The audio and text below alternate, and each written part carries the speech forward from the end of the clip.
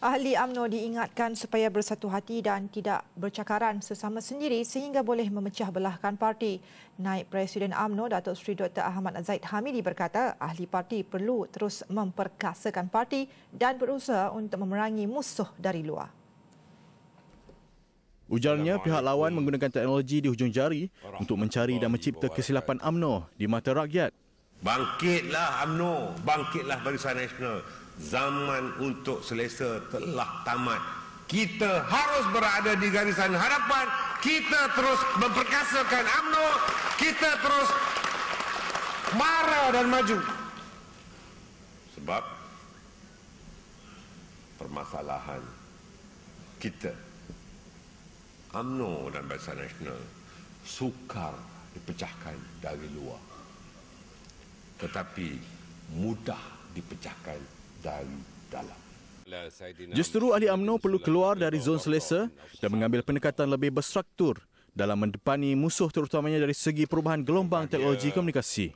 Budaya selesa hanya menghalang ahli UMNO daripada menguasai teknologi baru dalam bidang komunikasi. Ada di kalangan kita yang tidak kurang menguasai bidang ini mempunyai kumpulan masing-masing. Tetapi bukan untuk lawan musuh.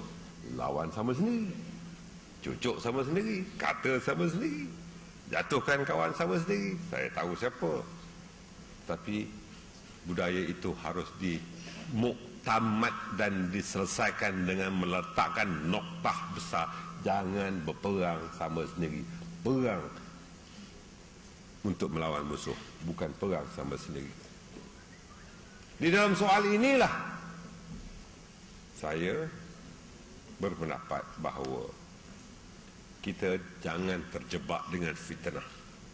Yang dulu datang daripada mulut, sekarang ini datang daripada hujung-hujung jari. Beliau berucap merasmikan mesyuarat perwakilan UMNO bagian Bayan Baru di Pulau Pinang pada Ahad. Hari sama Timbalan Menteri Kesihatan Datuk Seri Dr. Hilmi Yahya, Ketua UMNO bahagian Bayan Baru Datuk Mansur Musa dan Barisan Kepimpinan UMNO bahagian.